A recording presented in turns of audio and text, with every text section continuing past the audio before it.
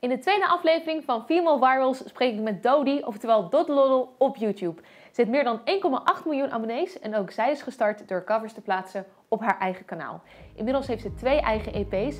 Haar derde plaat, Human, is laatst uitgebracht. muziekvideo's doet ze met vrienden. Schrijven doet ze helemaal zelf. Opnemen ook. En ze staat bekend om haar gevoelige teksten, audioklapjes en harmonieën. Ze heeft een hele melkwegzaal uitverkocht in een half uur en ik spreek haar daar voor de soundcheck. Put the thingy on. Wait. Okay. Hi, Dodie. Hello. Hi. I'm really um, satisfied that I again have a sofa where we can just go. Just chilling out. Look at this. Legs up. Who Brilliant. cares? Why did you start YouTube? I suppose that's a question you get a lot. Mm, um, I was a fan of it. I was a fan of the YouTubers that I watched, um, and I wanted to join in, but I didn't really know what else I could post. At first, I posted just me like messing about with my friends. I was Yeah. like, why am I not famous yet? and then I was like, all I have 10 views, that's so much. you know, I was like, God. Um, so then I gave up on that and I started. Firstly, I joined in with a collab channel, like me and some internet friends kind Yeah. of posted every week, and that kind of taught me how to make videos. Was that when everyone did like a day? I remember Yes. that was like a trend where everyone's like, I'm a Monday, I'm a Yes. Tuesday. I was a Sunday, um, and then I, because I wrote songs for school and just for myself, I was like, I'll put that online and see how it does. Um, so yeah, I just started posting my songs and also doing covers as well, um, since 2011. Yeah. Hello, my name's Dodie Clark. Um, I'm called Doddleoddle on YouTube. Um, I'm going to be singing a song that I composed to myself called Rain, and I hope you enjoy it.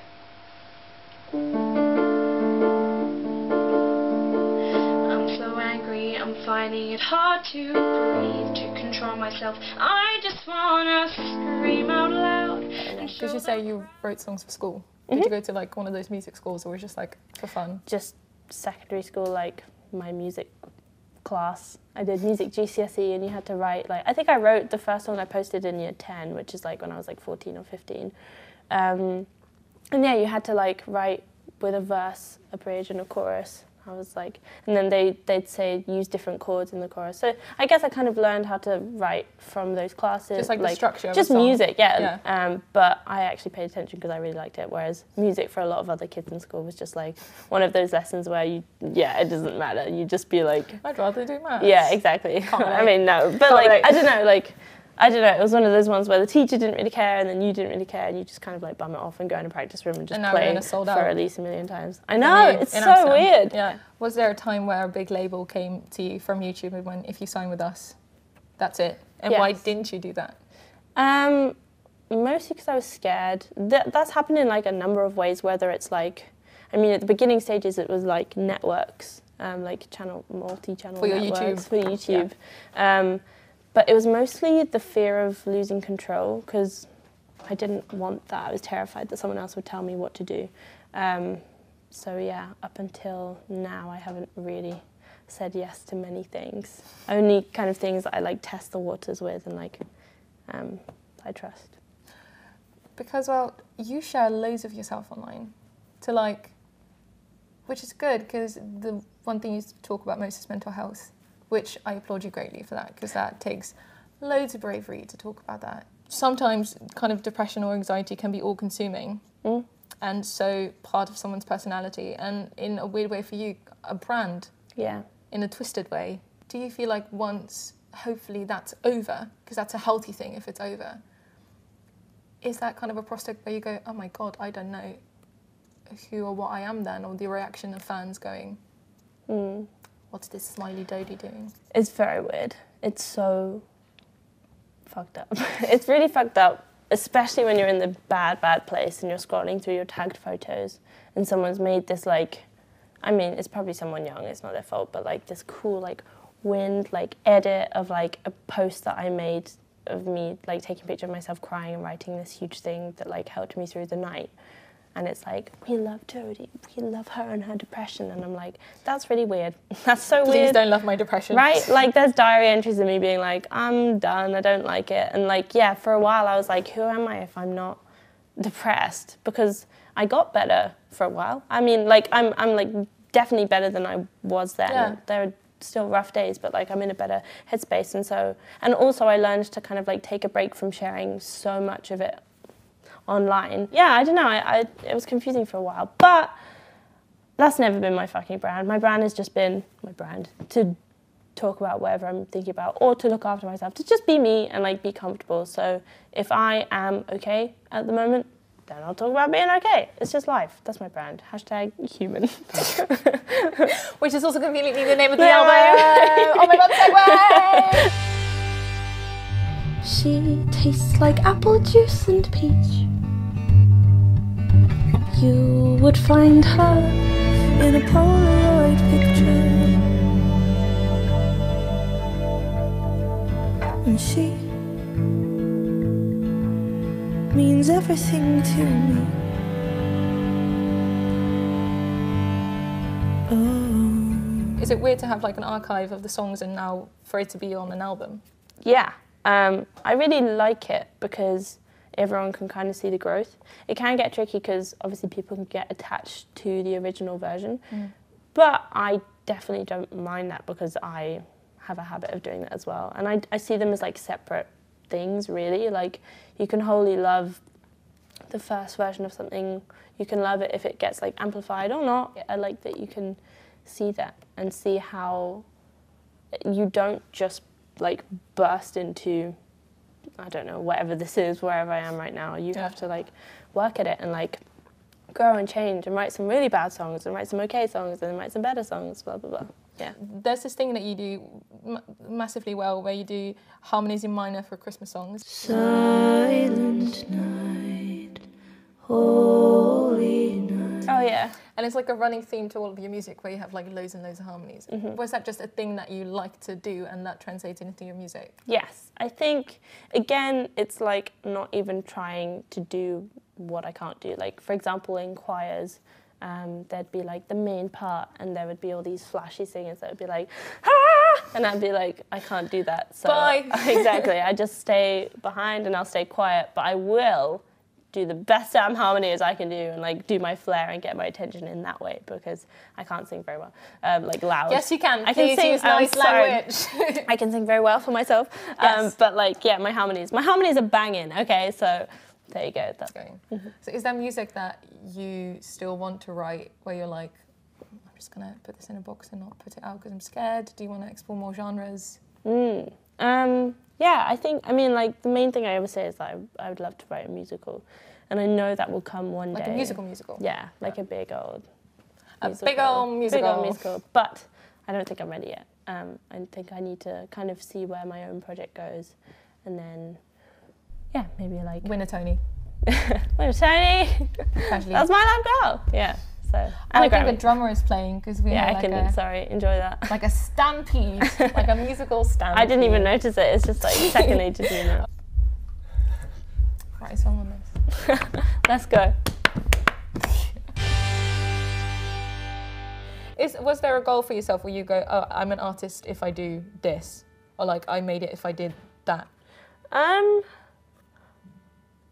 I don't really know. I think I. Is it like a Grammy or like Oh, I mean, views or like an, a third that. album? Or I guess I'm not. I'm never really setting goals for myself because I can't stand the idea of being disappointed. Like whenever. very healthy perspective of saying. Whenever there's like a sync opportunity that comes up, which is like getting my music in a film or like writing for an advert or something like that, Yeah. I never like I do it and I do it the best I can, but I'm always just like I have not got it. I have not got it, and that's fine. That is absolutely fine because if I go please, please, please, and then it doesn't happen, I'll be broken. So I'm Yeah. always just like nope, didn't happen, I'm exactly will. the same. It's now downstairs stopped, but we have your I think your Violinist. Welcome violinist. to touring. There is no room or space. noise. Correct. Always nice. Yeah. People will come in, they'll just brush your teeth on you, then leave. That's touring. That's nice. Yeah, she's great. And talking about transparency and having your video content online and now having the Vevo Discovers and the big shows, you posted, and I love this, your, your practice session of Monster, Yes. filmed by a friend of yours, Daniel J. Layton. Yes. Guys, are you ready for this shit? Nobody likes Millhouse. Ladies and gentlemen, quiet for the drop. Just a couple of months. So maybe I will talk to you. Cut, cut. The only way I know how to um, I think it's really healthy for, for kids to see that um, the same person that does such big sessions is the person that goes to their own kitchen. Mm. I think it's important to see that, that. yeah. I've always wanted to see that, and like, I don't know, like I'd love to see Dua Lipa just like being like, okay, where shall I put my hands when I sing? You know, I don't know, because it looks like it's so effortless, and like, I don't know. I think it's interesting to show people that I didn't just magically grow this overnight. And I mean, to be fair, I don't think it's very like surprising for me, you know, for someone to be like, People are used to this going around. yeah, exactly. Yeah. It's just like, yeah, of course she's dancing around the living room. Everyone's like, yeah, we know you can't dance. But yeah. Be nicer to yourself. okay, I know. Be nicer to yourself, please. I dance in my own way. Like, uh, I think I described it as like happy child dancing. little the other shuffle. day. Yeah, just Yeah. like, if I had hair, I would do a whip now, but I can't. I'll It do would just be extra for embarrassing, you. Yeah. Ah, um, is there something that you want to say in interviews because you want it to be in the world, but you never get asked? oh, that's a really good question. Um, oh, that's such a good question. There, there'll definitely be something that I think of afterwards. Yeah, because there's sometimes things that you can't say. I mean, this was Autonomously, yeah. this was very refreshing. I like talking about my own music. Like if someone's listened to it and they're like, "What does this one line mean?" I'll be like, "Let me tell you," because a lot went into it. 'Cause there's funny you say that because there's one song, Burnout, Yes. where you say, um, "I can talk about it," being fans. I'll never talk about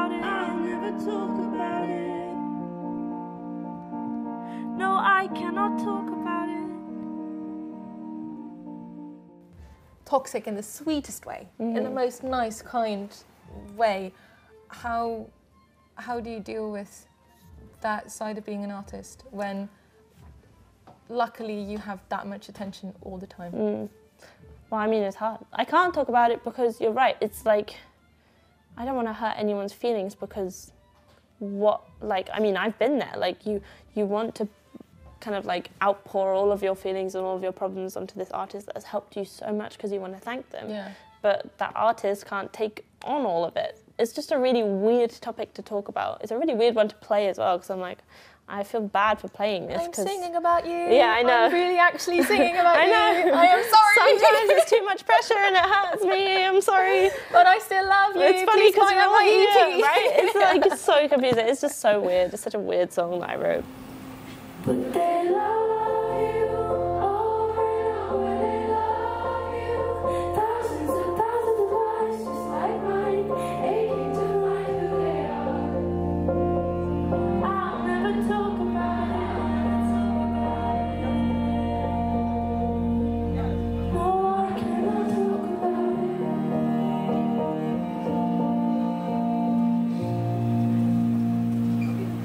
sometimes it's just a lot. Not sometimes. It is a lot all the time. You just, like I said, have to just. That's like artist Dodie.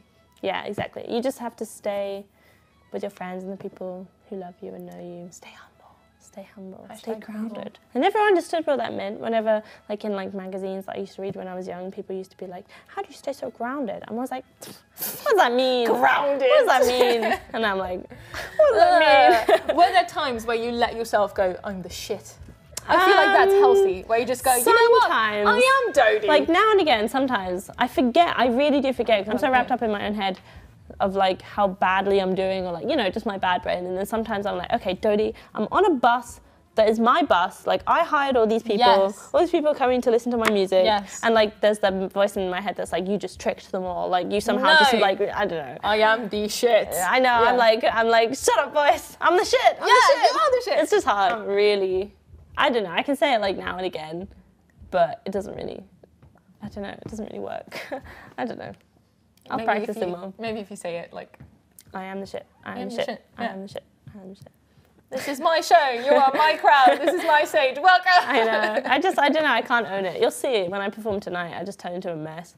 I'm like, thank you. Um, this uh, next song is about me, uh, not feeling good enough. Um, anyway, okay, bye. Oh, it's just such a mess. Because that's what I really admire about Sigrid, because she just like, Oh, she's awesome. she's business. Yeah, she's business. She just goes, this is my, you are you are Yeah. Up. She's like, everyone's gonna listen to me, and I'm gonna you're move. welcome. Yeah, like exactly. You're like you're Oh, welcome. I love her. She's so cool. I think we should release you because I think Elliot is like having a panic attack. Oh, yeah, he's like- of that door. Yeah, I think I have to go sound check. Daddy, have fun with your soundtrack. Have fun with the show. Thanks. Be the best of the Dodies. I will try. In my head, I'm the shit. You are the shit. I'm the shit. I'm gonna say that out loud. I'm just like, Yeah, just like huh? I did this. You're welcome. I can't. There's just something in me that's like never ever. do it. Do it. Just imagine me going. Do it.